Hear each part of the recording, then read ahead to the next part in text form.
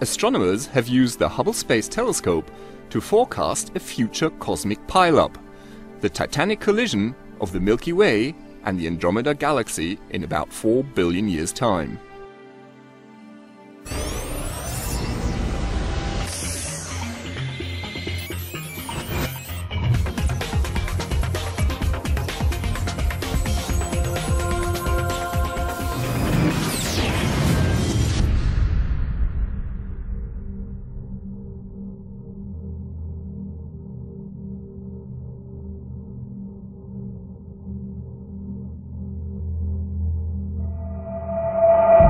The Andromeda Galaxy, some 2.2 million light-years away, is the closest spiral galaxy to our home, the Milky Way.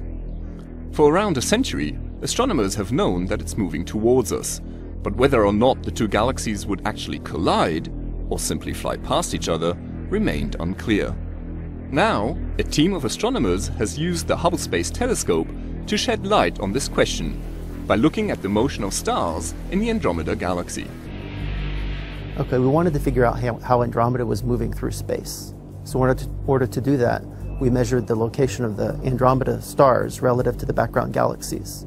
In 2002, they were in one place, and in 2010, they were in a slightly different place.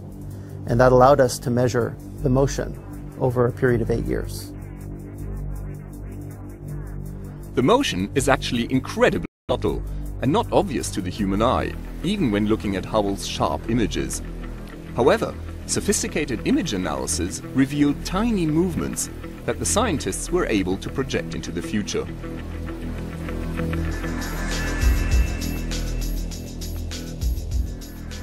Based on these findings, it is finally possible to show what will happen to the Milky Way over the next 8 billion years. As the galaxies drift closer,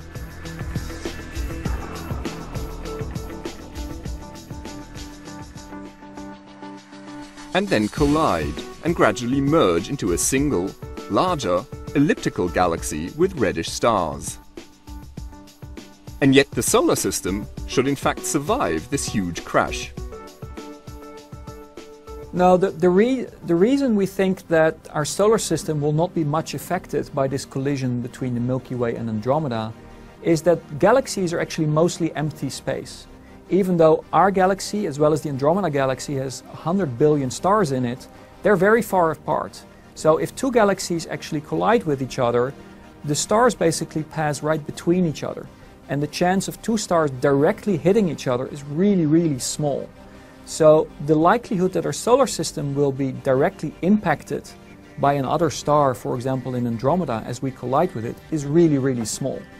Well, if life is still present on Earth when this happens, the changes in the sky will be quite spectacular. Now, they will be very, very slow because the time scales on the scales of galaxies in the universe are very, very long. So you have to think millions of years. But even then, over these time scales of millions of years, we will see big changes. If we wait a few billion years, Andromeda will be huge on the sky. It will be as big as our Milky Way because we'll be very close to it.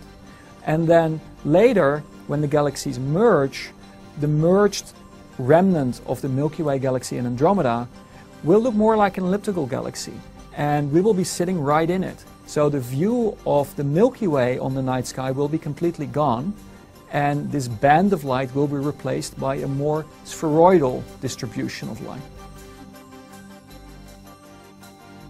And so the Sun, born in the Milky Way almost 5 billion years ago, will end its life in a new orbit, as part of a new galaxy.